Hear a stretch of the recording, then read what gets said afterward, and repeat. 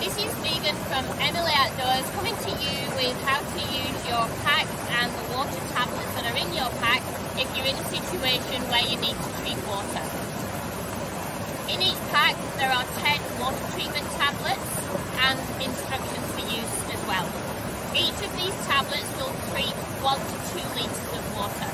So, fill the pack up with water. The pack is waterproof and will hold water. If you fill to about the top of the end, that's roughly one litre. Drop a tablet in, wait for 30 minutes, and you should have drinkable water. But obviously, follow the instructions on the pack. Now, I regular away on long summer hikes and fill up from streams. Um, sometimes on a hot day, I've been known to go through six litres of water, and that's too much water to carry in one session, so I often fill up in streams.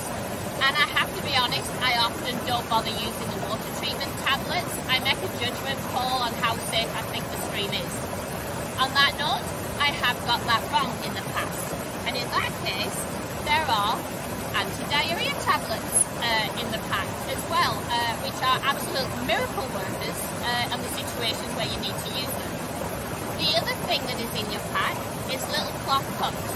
Just drop these in the water, they turn into cloths and I can assure you that if you're in a situation where you need the diarrhea tablets, you probably need the cloth pucks uh, to clean up as well. This is Megan from Emelee Outdoors. Please visit us at emeleeoutdoors.com for more tips on how to use the items in your Emelee Outdoors kit. And thank you for watching.